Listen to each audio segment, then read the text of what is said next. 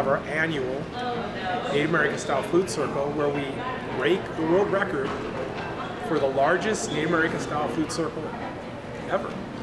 And I'm happy to share with you that this year we had 624 confirmed participants and broke our own record at our fifth annual circle.